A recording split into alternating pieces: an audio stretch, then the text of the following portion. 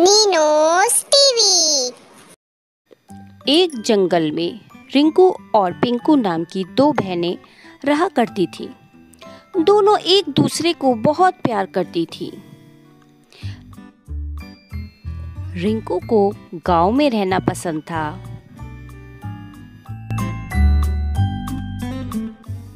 पर पिंकू को शहर में रहना पसंद था।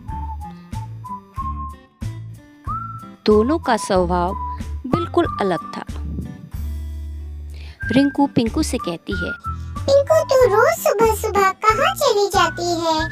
मुझे बता के जाया कर मुझे तेरी चिंता रहती है।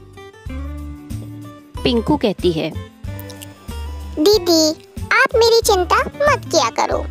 मैं अब बड़ी हो गई हूँ। मुझे वैसे भी यहाँ मन नहीं लगता। मुझे तो शहर में रहना पसंद है दीदी। गाँव की ज़िंदगी बहुत बेकार है दीदी। रिंकू कुछ नहीं कह पाती बस चुपचाप रह जाती है। एक दिन शहर से कुछ पक्षी पिंकू से मिलते हैं और उसे शहर ले जाने को कहते हैं। तुम हमारे साथ चलो। शहर में तुम्हें बहुत कुछ मिलेगा। पिंकू बहुत खुश हो जाती है और कहती है यह तो मेरा सपना है शहर में रहने का वहाँ बसने का.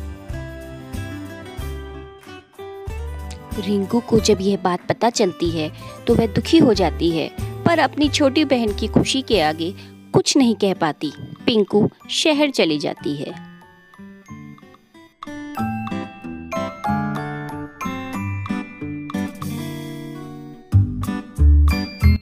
और कुछ दिनों बाद रिंकू से पिंकू मिलने आती है और कहती है ओ दीदी कैसी हो? रिंकू हाँ मैं ठीक हूँ। तू सुना तू कैसी है? दीदी मैं तो बहुत मज़े में हूँ। गाँव के जीवन से वहाँ का बहुत अच्छा जीवन है दीदी। पिंकू को खुश देखकर बहुत खुश होती है। और पिंकू अपने शहर वापस लौट जाती है।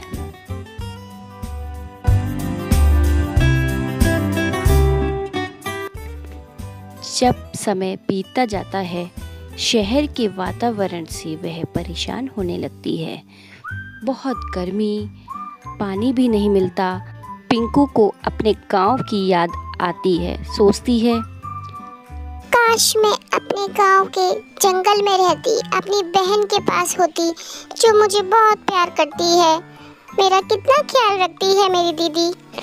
अब मैंने फैसला कर लिया है। मैं अपने गाँव वापस जाऊँगी।